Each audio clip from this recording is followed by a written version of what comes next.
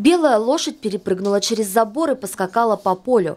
Предложение, смысл которого вряд ли поймет ребенок с дислексией. Дислексик мыслит образами, но в русском языке около 300 слов, образы для которых не возникают. По большей части это вспомогательные слова, в том числе союзы и предлоги. Поэтому предложение про лошадь дислексик распознает так. Белая лошадь перепрыгнула забор, поскакала полю. Да ему говорят, о чем ты прочитал? Он говорит, про поле, про поле.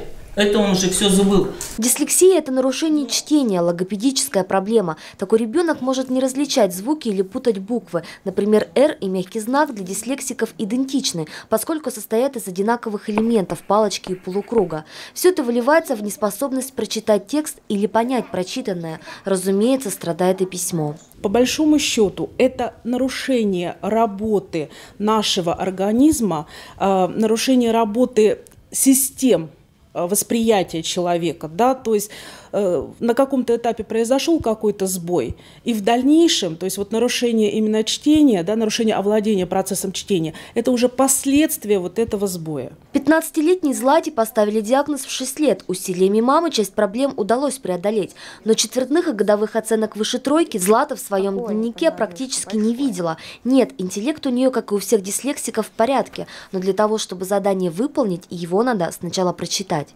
Задание я не понимаю, например, э, какое задание, ну что от меня требуется. Вот, я делаю так, как я понимаю.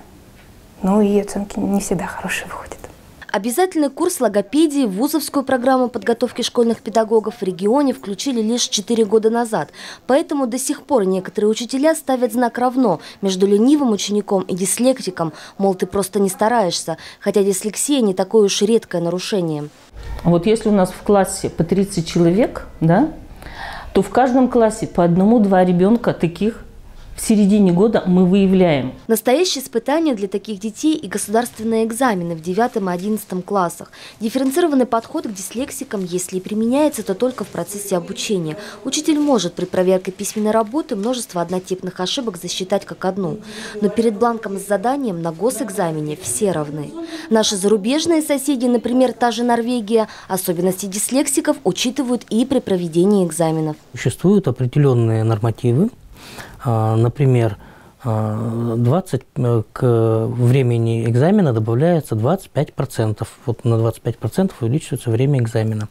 Или э, допустим, если у ребенка проблемы с чтением, да, значит, ему дается опросник, который распечатан более крупным шрифтом. Необходимо э, все-таки внести, видимо, на законодательном уровне какие-то Э, нормы, э, которые позволят э, вот детям с такими нарушениями, в общем-то, ну, поставят их в одинаковые условия со всеми. То есть мы будем учитывать э, специфику э, такого ребенка. Скорректировать дислексию можно. Злата – яркий тому пример. Девочка достаточно бегло читает, разборчиво пишет и может пересказывать простые тексты. Но чтение в любом возрасте для дислексика остается тяжелым трудом.